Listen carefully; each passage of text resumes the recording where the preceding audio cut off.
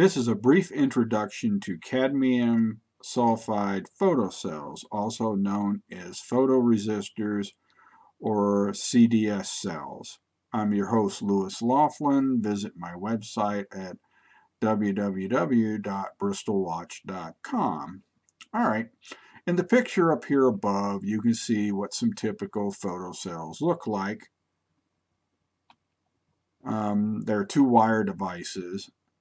They merely change resistance based on light intensity. The brighter the light, the lower the resistance.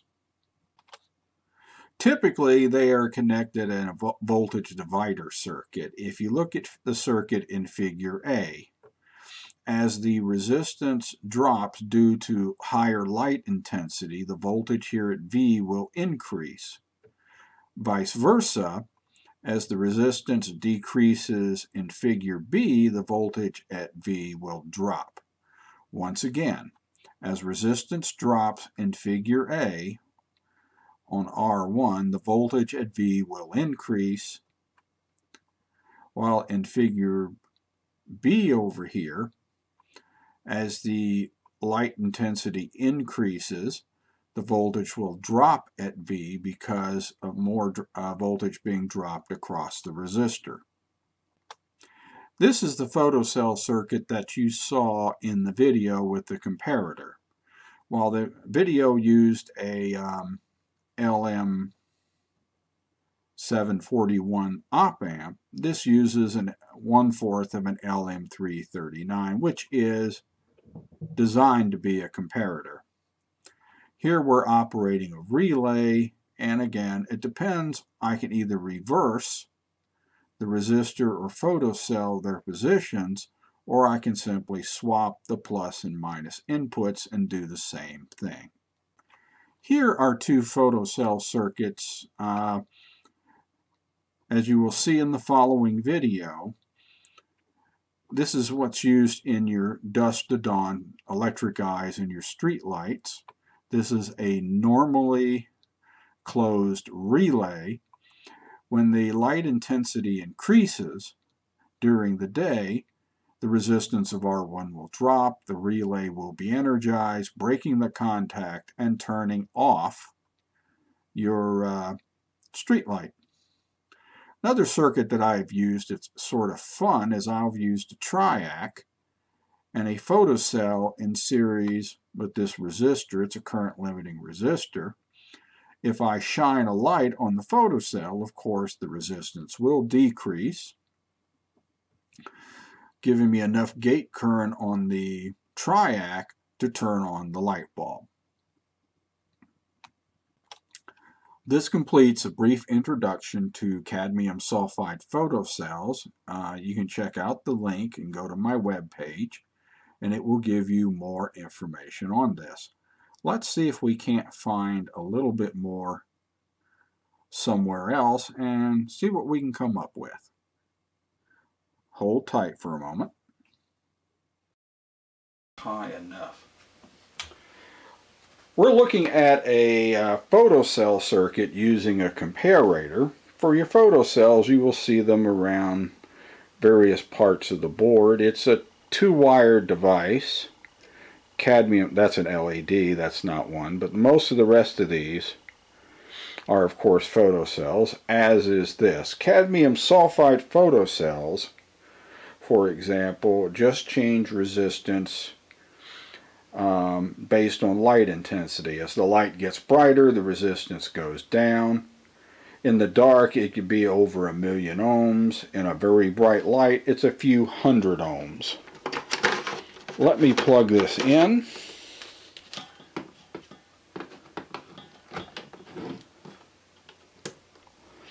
You just saw an LED come on. This is a comparator circuit.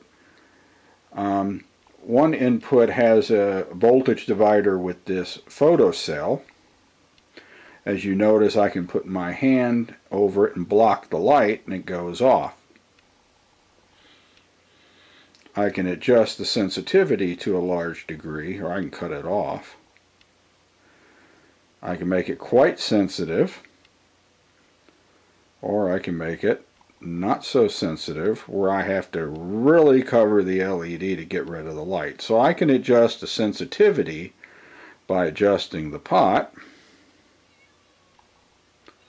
as shown. Now I'm going to re reverse the plus and minus inputs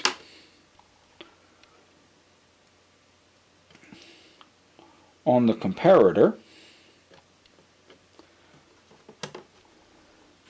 Now you notice the LED is off. If I cover up the cell, it will come on. So just by reversing the inputs, the plus and minus on a comparator, be it an op amp or an LM311, this here is an op amp comparator. I can turn a LED relay or whatever you want to call it on and off or in the dark or turn it on in the dark. Either way you want to do it. Real quickly while I'm here, I'm sure you will recognize the next device when I pull it up. If you've seen these things, this is an electric eye that you see on your street lights. Take off the cover and you have a photocell in series with a normally closed relay.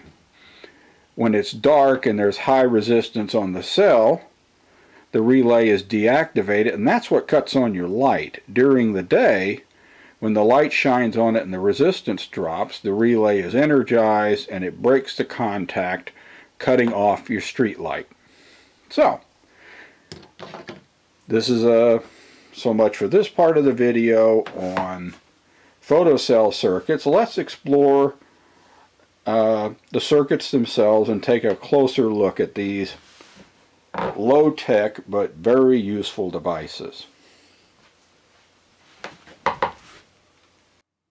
Here is a cutaway picture of a photocell. You can see the actual material as you saw elsewise. It's usually in a metal or glass um, container with a clear glass window.